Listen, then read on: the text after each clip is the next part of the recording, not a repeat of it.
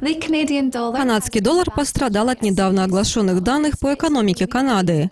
Они были неожиданно для всех довольно слабыми. Это может стать причиной сокращения процентной ставки Центробанком страны. Но некоторые аналитики заявляют, что все еще впереди. Сегодня со мной на линии для обсуждения пары Оси Кат Эндрю Грэнсом из CIBC World Markets. Рынки включают в цену очередное сокращение процентной ставки Центробанком Канады.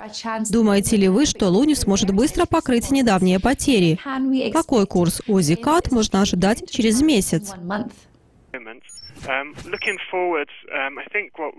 В данный момент рынки интересует вопрос, снизит ли Центробанк Канады снова процентную ставку. Мы считаем, что этого не будет.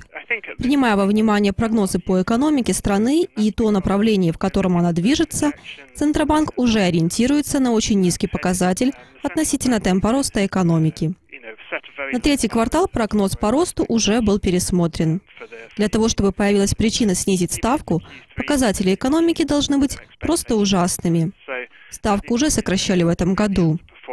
Второе сокращение нельзя назвать невозможным, но мы считаем, что Центробанк Канады не будет этого делать еще долгое время. It's not impossible for that to happen again.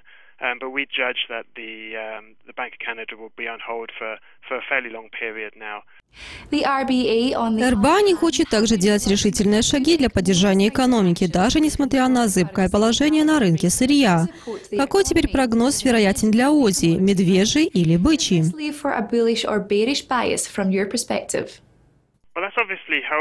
Недавно ОЗИ доллар нашел хорошую поддержку относительно канадского доллара в лице РБА, который не идет на сокращение ставки.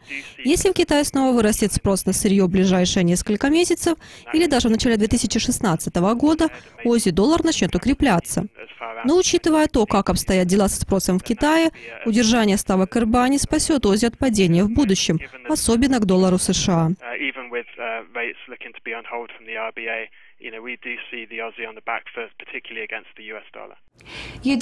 Вы прогнозируете рост курса до отметки 0,98, практически достижение паритета в 2016 году.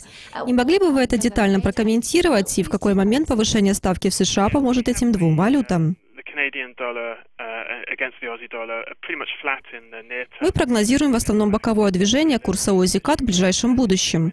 В следующем году ОЗИ начнет несколько укрепляться, как вы и сказали, достигнет паритета. Мы ожидаем, что ФРС начнет повышать ставки в сентябре. В заявлении этой недели мы вряд ли услышим какие-либо индикаторы повышения. Но опять-таки не думаю, что влияние повышения ставки ФРС скажется на одной валюте больше, чем на другой.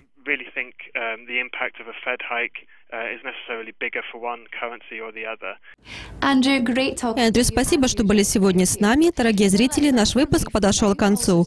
А наша команда подготовила для вас еще обзор прессы, новости индустрии и много другого. Оставайтесь с нами.